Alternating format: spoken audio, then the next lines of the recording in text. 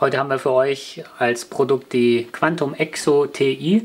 Das ist also aus dieser Quantum Exo Serie. Da gibt es ja Rollen und Routen, die zusammenpassen. Sprich Exoskeletal Design. Ein Design in dieser ganzen Serie, in der die Produkte möglichst leicht, aber dabei möglichst robust äh, sein sollen. Die neue Exo TI hier haben wir ja einmal hier liegen. Ähm, besteht auch in dem Fall aus einem Carbonkörper, beziehungsweise das ist teilweise Carbon, so wie der Rotor, aber auch Aluminium ist da verbaut. Das sind natürlich beides extreme Leichtbaustoffe, die aber gleichzeitig sehr, sehr robust sind. Man sieht hier dieses leicht graue und diese Aussparung da drin. Also überall, wo keine Belastung, wo kein Druck auf diese Rolle, auf den Rollenkörper kommt, da kann man ruhig so Aussparungen dann vornehmen. Tut der Stabilität überhaupt nichts. Also die ist genauso stabil, als wäre das ausgefüllt, wie an diesen Stellen. Ähm, ist aber leichter. Ne? Man spart Material und dadurch hat man einfach Gewicht gespart. Ist ja als Angler immer ganz schön, wenn da ein bisschen Gewicht runterkommt. Ähm, trotzdem wurde hier also großen Wert auf Stabilität gelegt, wenn man sich mal die Kurbel anschaut. Die ist nicht aus Carbon. Hier ist ja ein langer Hebel dran und durch diesen Hebel, ne, wenn man mal so richtig drückt, mal anschlägt oder beim Drill oder ähnliches, dann könnte sich das hier verbiegen und deswegen haben sie den, die Kurbel aus Edelstahl gemacht. Ne? Hört man noch?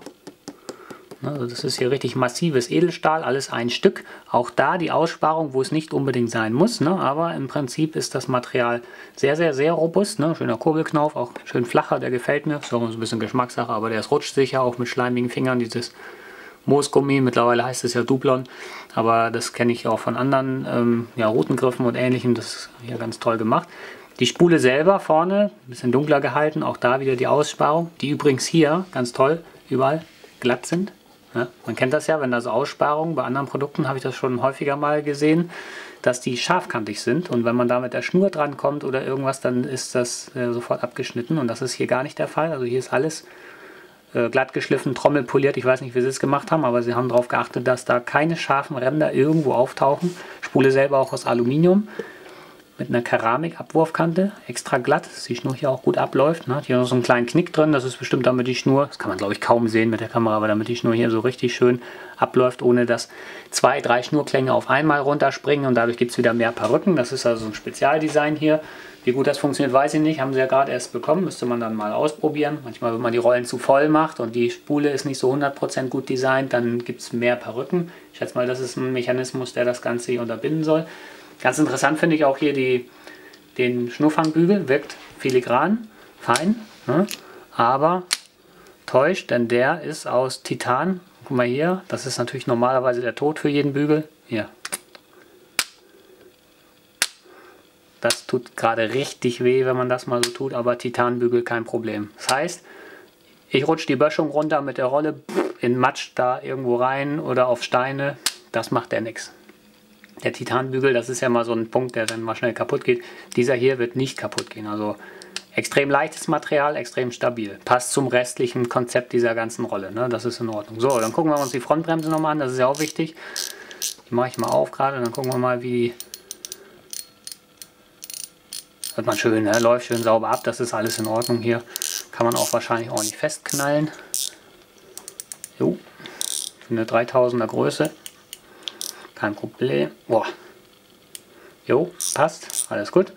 So, und jetzt ganz wichtig, Getriebe einer Rolle, da ist es ja so ein bisschen das Kernstück, ne? das sind so die äußeren Merkmale und Funktionalität, Getriebe.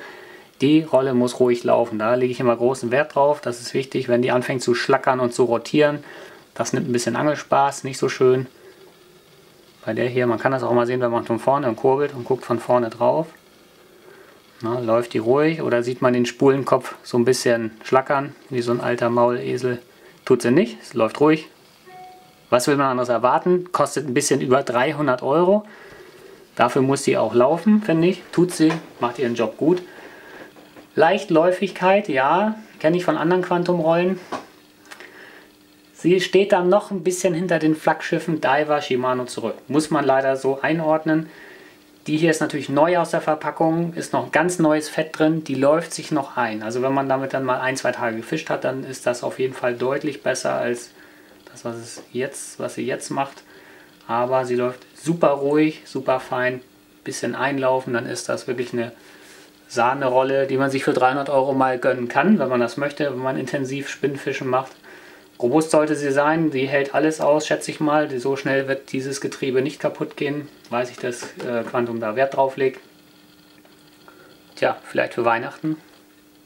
Das ist auf jeden Fall ein schönes Ding dafür. Ne?